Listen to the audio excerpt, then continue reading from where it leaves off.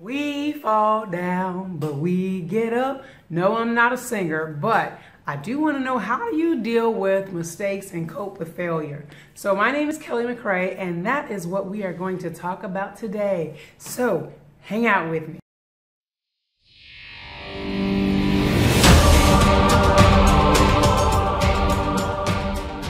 So let me ask you a question when things don't work the way you thought they were going to work and you said you was going to do something that you ended up not doing how do you feel about that? How do you feel about that? You know lay on my sofa and let's have a therapy session right quick and tell me what you think. So here's what had happened i took off for uh, a week to laos and it was only supposed to be a two-day trip that ended up being a whole week long and not because I was intelligent because I did something stupid. but here's the thing that I want you to take from that is yeah, I missed some days posting on YouTube, but shit happens. And for many of us, whenever we make a mistake, we dub it as like a failure of epic proportions.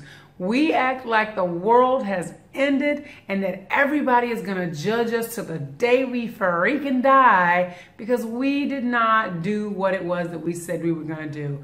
Now, I am not advocating that you be a deadbeat. That is not what I'm saying. I'm simply saying that when you make a mistake or when things don't work the way that you should, do not start collecting your mail at Mistake Avenue and Failure Boulevard, you know, because nobody is perfect and things happen and you just have to back up and regroup, right?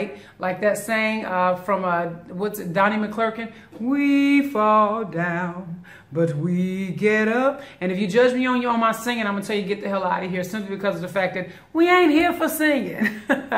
we here to learn, right? So what I want you to learn is that sometimes things happen. So what I learned from my mistake, if you will, from my ability to not be here when I wanted to be was one, to either deal with the fact that sometimes I'm just not going to be here or two, record more videos, edit more videos, upload more videos and have them waiting on the back burner so that I'm still able to do those things that I said I was going to do. So there's a lesson in everything. There's always a lesson. Nobody is perfect. And if you are waiting for situations and circumstances and everything to be perfect, you will never get it done. It will never be finished. You will never release it. So what I want you to do is I want you to focus on what your point is, on what your purpose is, and on the end goal. And then I want you to move move forward with that. So Yes, there were six days, seven days, maybe eight days. I don't know how many days it was